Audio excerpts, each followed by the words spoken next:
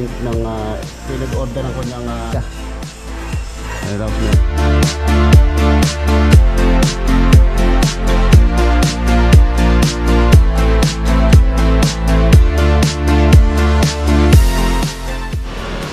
Yun o. Medyo mabusisi itong uh, group no. Then, uh, natin ng mga black. Inalagay ko natin dyan sa uh, tricolor na black. Tanggalin no? Baka may possible. Nagsisip-sip ko yung ganun. Nagsisip ko yung takla.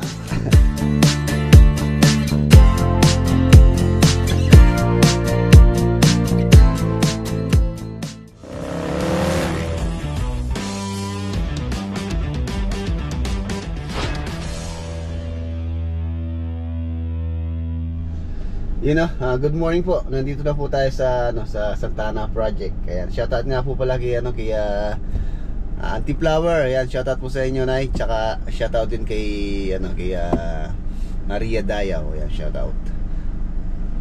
You know, nandito na po tayo, maaga po tayo. Magka-alas 7 pa lang. Santana Project. Ayun na, shoutout din kay ano kay ah, Boss Ron. Boss Ron, tapos uh, pinapabati po niya yung kanyang misis, birthday po niya sa December 16. Ayan, ngayon po yun. December 16. Ah, happy birthday kay uh, Marik Aldana. Ayan. Happy birthday po. At uh, ano mga boss, uh, shoutout din kay Boss Rolando Silima, Soliman. Tapos uh, meron siya pinapa-shoutout. Ayan, napabati naman ng mga ang nanay ko at mga kapatid ko. Name, Apong Apong Pitang, Ate Yoli at Kuya Armando, Kuya Dadu, Ro, Kuya Dadu, Rolly, Rolando at anak ko si ah, Adriel. Adriel from LA. Maraming salamat po. Ayan. Shoutout po sa inyo. At ayun mga boss, ah, dumating na po muli yung in-order kong mali dito. Tingnan natin kung ah, tatama na. Ayun. Bali pinalagay ko na ng ano ng ah, tiles pero yung opening niya is ah, yung blackout niya is a 5x5. Ito tingnan natin. Ni ano mo first? I-unbox mo nga kung sa- sakto na yan. Yung kung nauna, maliit. So, tinalpon ko. Order ako ulit.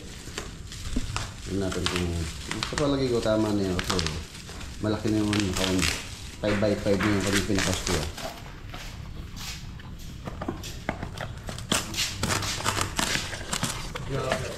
Ngayon, tama na siguro yun. Yan o. Yan o. Yan. Tanggalin mo yung takip na yun. Tapos i lagyan ko simento natin.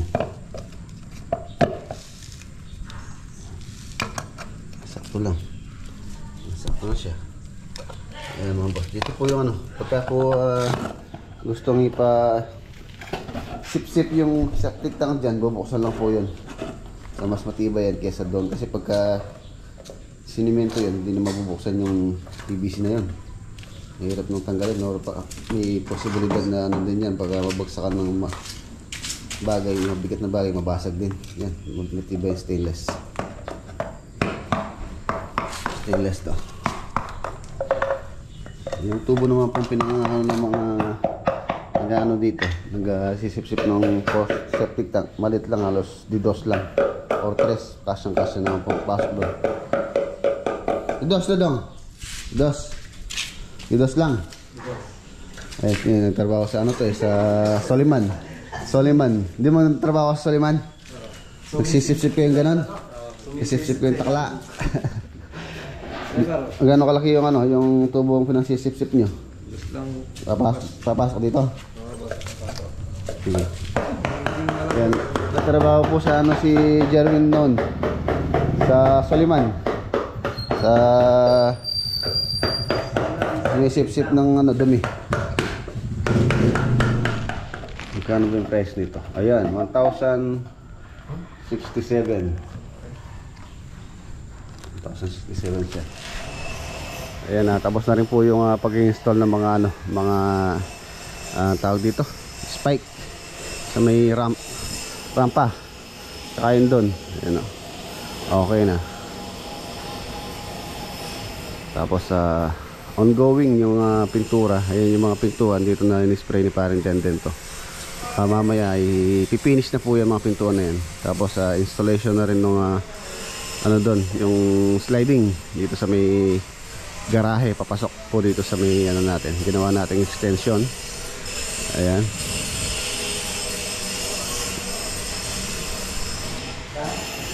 Yung mga grills natin mga boss, na- nalinis na po halos. Papaano natin ngayon, ah, spray ng ah, primer. Ayan oh. Dong. Kama sila. Ayan, malinis. Malinis na to, Day.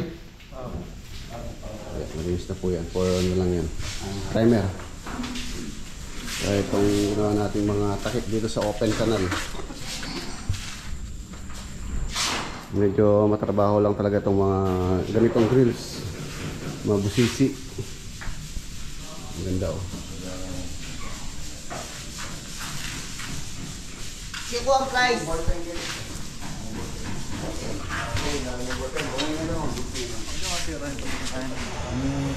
Yan oh, installation na po nitong ano, itong ah, sliding ah, door dito sa garahe. Check, tapos lalagyan natin dito, yan oh. Banggaan. Banggaan. Kahoy. Para doon na ano yung lock. Hindi na lang natin siguro yun, yung banggaan dito. Tapos yung stopper niya sa ilalim no. Ayan, heavy duty po yan oh. Ayan yung gulong niya. Madali, madali lang po naman i-install yan kung gusto niyo pong uh, order ng ganyan. May, may meron po sa online yan, online shop.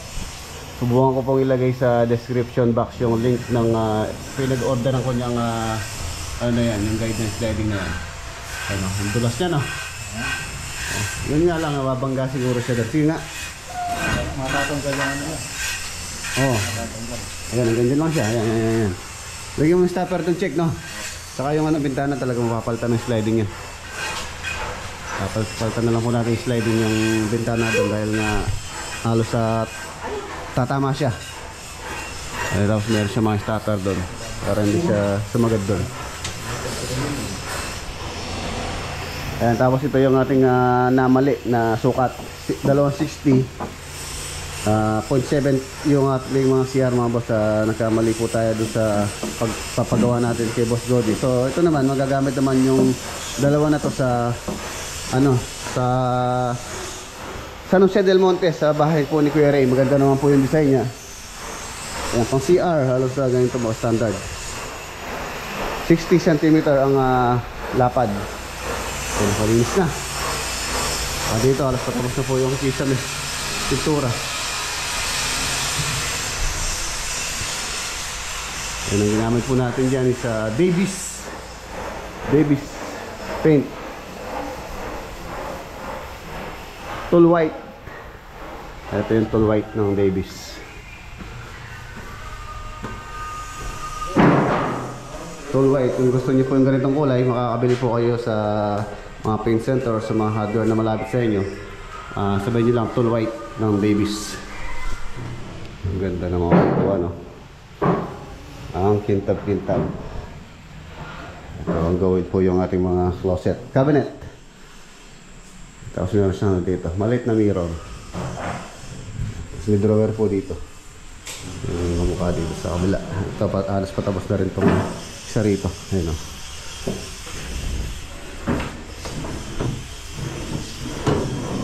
Lagyan ng mga anik-anik. Tapos hangiran. Tapos meron pa siyang shelves dun sa taas. Tapos drawer. Ay, wala pa siyang handle. Siguro ilalagay natin handle dito yung lang ano. Yung uh, pinabaon. Drawer tatlo. Shelves.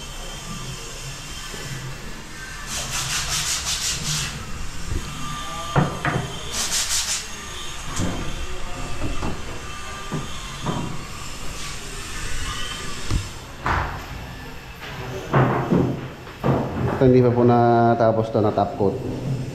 Yung na natatop coat to, sabay ng mga planks.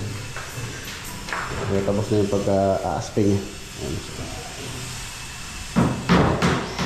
Ayan na, okay na po yung ano niya, yung kanyang ah, setup doon. Ito na lang ilalagay natin. Ito po yung pinaka-stopper niya sa ilalim. Ah, lalagyan natin siya ng ano dito, ng ka, pinaka-kanal. Siyempre gamit natin itong ah, Bosch. Bosch na palm router. Ah. Personal ah, GKF 550. Ayan, ito po yung ating ah, tools din na router. Gamitin din po ito lalo na sa mga paglalagay ng pinto, paglalagay ng mga groove. Ayan, marami po tayong talim na iba't ibang sizes. Ayan, ito po, sakto na po itong talim na to. So, ilalagyan ko ng kanal.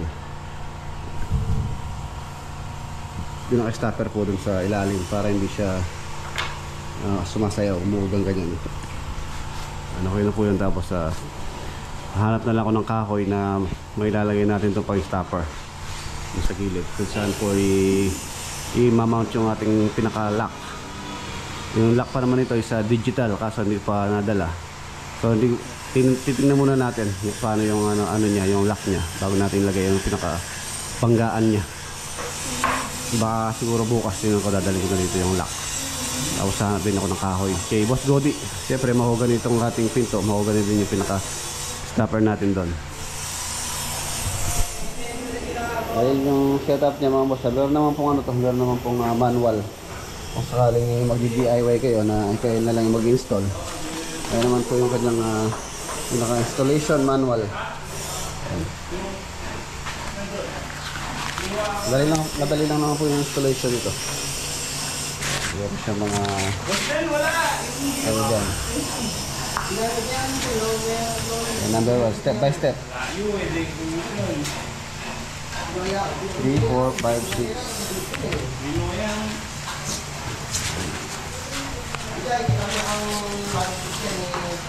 Lalagyan muna natin yung kanal. Lagyan muna natin. Kung wala naman kayong router, pwede naman pong ano to, kung meron kayong circular saw, or kung bibili kayo ng kahoy, siyempre palagyan nyo na ng ano, ng ah, kanal dito sa ilalim sa ah, gumawa ng pinto ito, hindi ko na palagyan kay Boss Godi, so tayo na lang maglalagay ng pinakakanal niya dito. Ah, siguro itong talim natin is sa 1 quart.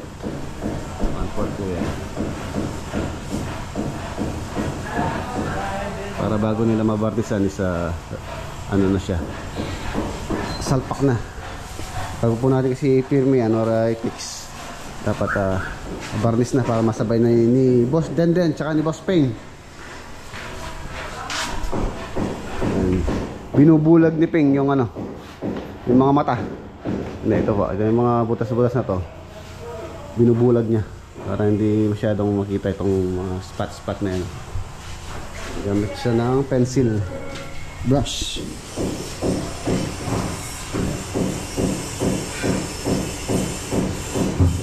Binubulag kung tawagin namin. Bulagin.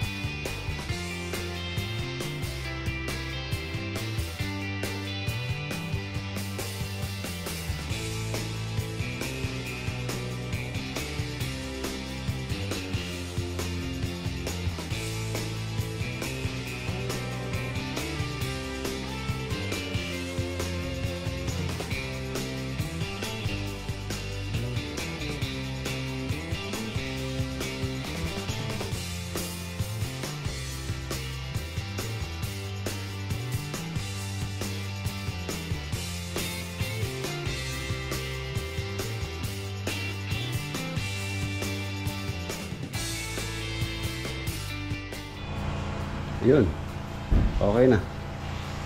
At sakto lang yung ating ah, palim.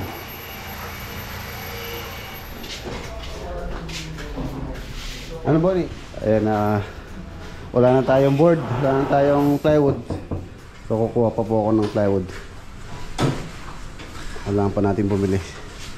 Marami pa tayong gagawin cabinet siguro mga check ko mga ano pa yung magagamit natin dito. Hindi 15, 20. 20 pieces pa. Ayan, ah, pinagawa ko na rin pala yung ano, yung ah, na yupi.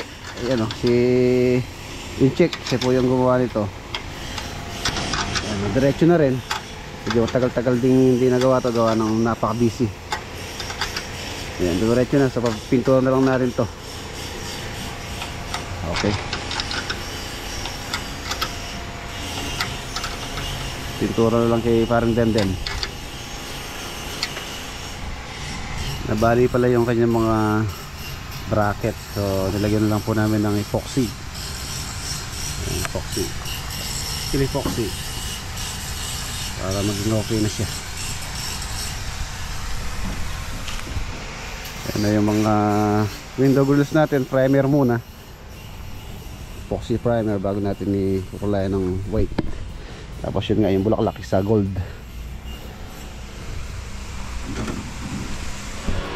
Ayun o. Medyo mabusisi itong uh, group no. Then, lalagyan po natin ng mga black. Ang nalagay po natin dyan is uh, tricolor na black. 201 black. Acrylic base. Yan.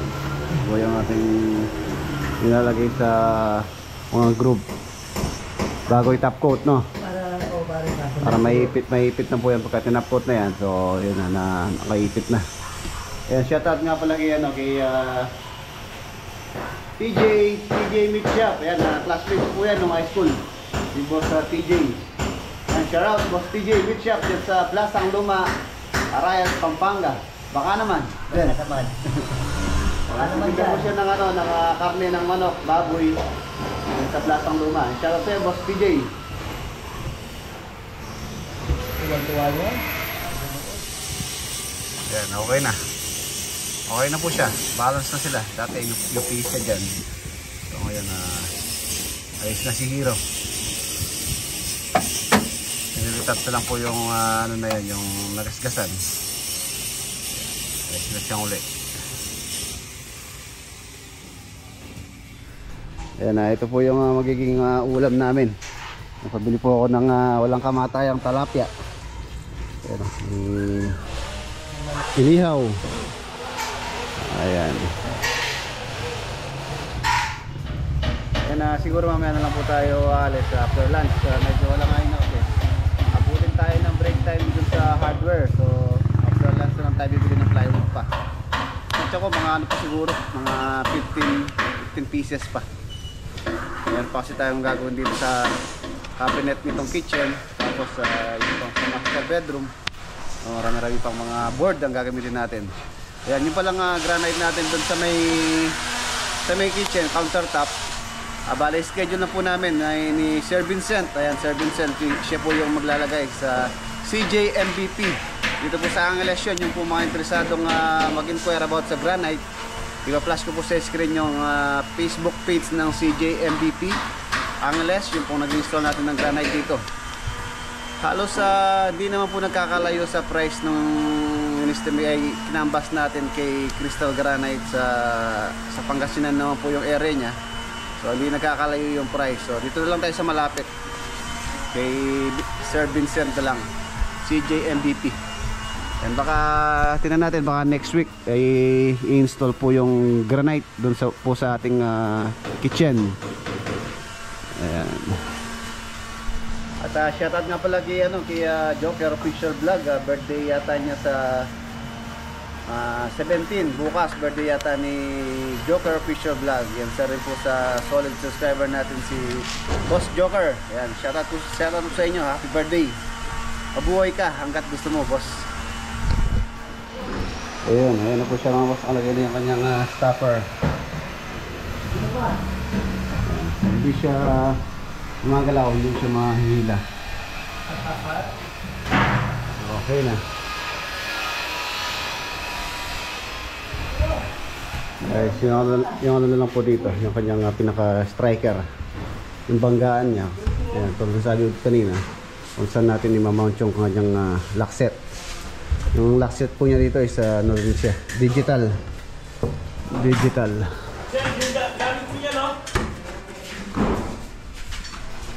Ganda ng ano, ganda ng bulas oh. Napakagandang, napaka ano, gaan ni slide. Yun.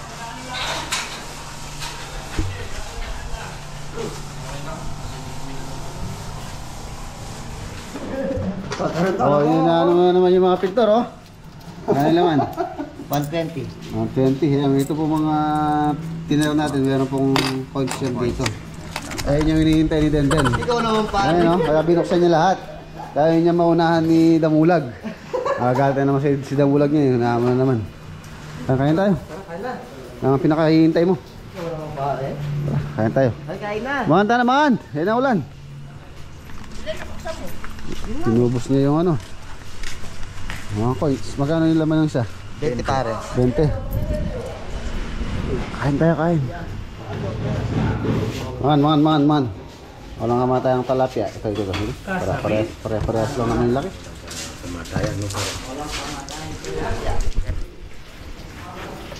Ayun oh, maraming salamat po sa nag-sponsor. Balikbayan Box. Hindi po, yan po siguro yung mga ilaw na pinakargo ni ano ni Ate Big Big. Ayan, okay, hindi ito na. Mga ilaw. Ilan box to boss? Dalawa, dalawa. Dalawa lang. Ayan nga, ito nga yun. Jojo Purigay, Doha, Qatar. Ay, yung mga ilaw. Malalagay na po natin yan. Yan natin kung maglalagay tayo ng ilaw bukas.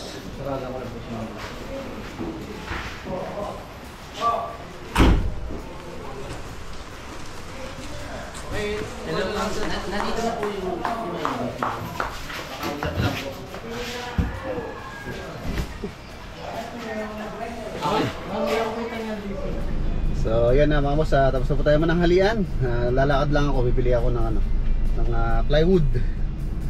Plywood para sa mga cabinet pa natin. Ayan, uh, narito na po tayo sa bilihan ng ah, plywood. Ayan, uh, kumuha lang muna po ako ng 10. Ah, kulang yung aking ah, dalang budget. 10 muna. 10.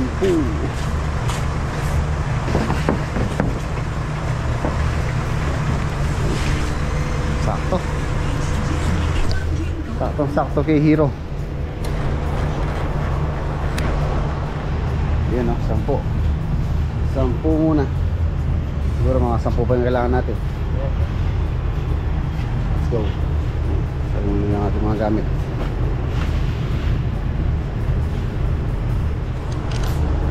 Okay, tara. Santana. Eh, nandito na po tayo. Baba, baba yung ating mga pinamili. Ayan, ah, tapos na po yung uh, pagbablock sa mga group. Sanding sealer. Sanding sealer na to yung na-apply ni Boss Denden. Tapos Lia. Tapos sa top coat na yan, no? Urethane. Ayan. Tapos itong mga balikbayan box na to mga boss, ah, bubuksan po natin to pagka nandito po si, ano, si ma'am. Ah, baka po kasi may mga mahalagang ah, bagay na nandito sa mga box. Maganda na nandito siya pagka binuksan natin at tin- tingnan natin yung mga ilaw. Kaya hindi po muna po namin gagalawin to. Hintayin ko munang ah, baka bukas nandito si ma'am. So bubuksan namin to, yan box natin. Para makita natin yung mga ilaw na nabili po nila sa Doha, Qatar. Ayan. Shoutout po sa mga OFW na, na nandyan sa Doha. Yan, galing po dito to. Ay, galing po dyan to. Ayan, Qatar.